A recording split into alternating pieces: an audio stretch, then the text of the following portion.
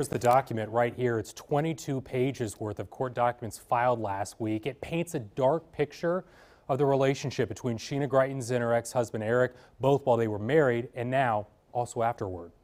A motion filed by Sheena in the Circuit Court of Boone County last week says the allegations of child abuse that she made in her affidavit can be proven through the use of photographs. Records of her informing attorneys and counselors and mediators in their divorce case and photographs of one of their children after returning from a visit with his father that um, where he had injuries that resulted in eventually a tooth having to be surgically removed. Rudy Keller is the deputy editor for the Missouri Independent and has gone through the new document.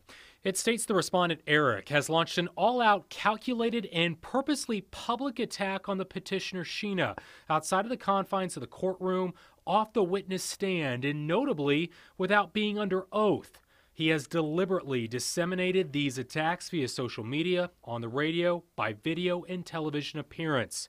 Sheena is trying to get her child custody battle with him moved from Boone County, Missouri to Travis County, Texas, where she now lives. She is saying that due to the time between now and when it will be decided or, or at least argued on May 27th, she may be forced to shift her strategy, which was to remain silent in the media and do interviews in order to counter what he's been saying. The Republican who resigned as governor in 2018 after a sex scandal is trying to make a comeback now by running for retiring U.S. Senator Roy Blunt's seat.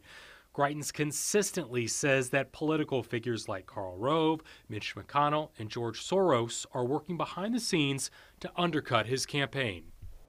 Now, Eric's attorney, Tim Parlatore, released a statement saying, quote here, Sheena Greitens lied in a sworn affidavit alleging abusive behavior that never happened.